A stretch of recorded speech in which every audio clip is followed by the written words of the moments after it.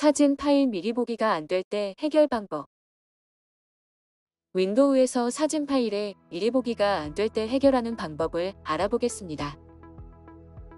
현재 바탕 화면에서 미리 보기가 안 되는 두 개의 사진 파일이 있습니다. 시작 실행창에서 다음 명령어를 입력하고 확인을 누릅니다.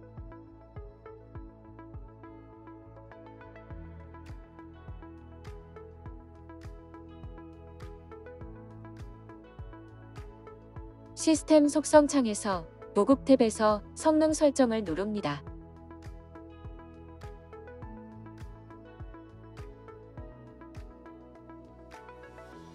시각 효과에서 아이콘 대신 미리 보기로 표시에 체크를 합니다. 적용을 누르면 미리 보기가 다시 활성화가 됩니다. 두 번째 방법은 시작 실행창에서 다음 명령어를 입력하고 확인을 누릅니다.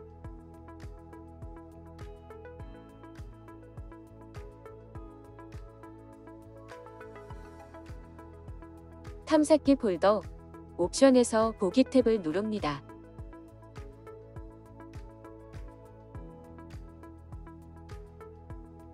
아이콘은 항상 표시하고 미리 보기는 표시하지 않음 체크를 해제합니다.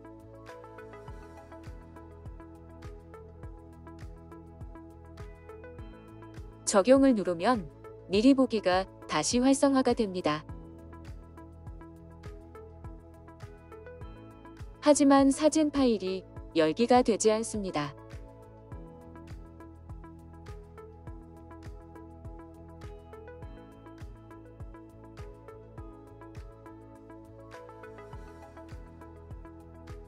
영상 더보기와 고정 댓글을 확인하시고 사진 앱과 그림판 삭제 복구 명령어를 확인합니다.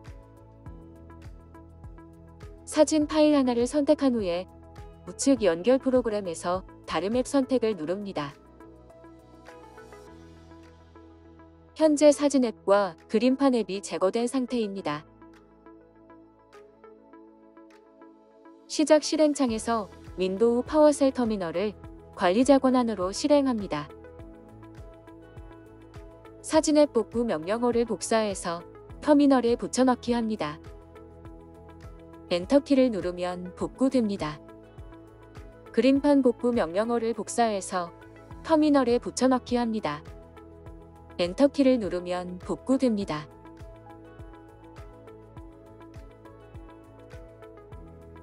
다시 사진 파일 하나를 선택한 후에 우측 연결 프로그램에서 다른 앱 선택을 누릅니다.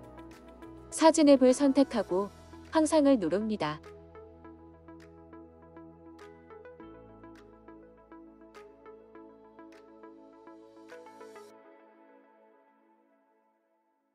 이제 사진 파일에 미리 보기가 정상적으로 표시되며 늘기도 문제없이 가능합니다.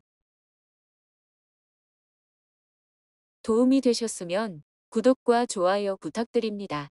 감사합니다.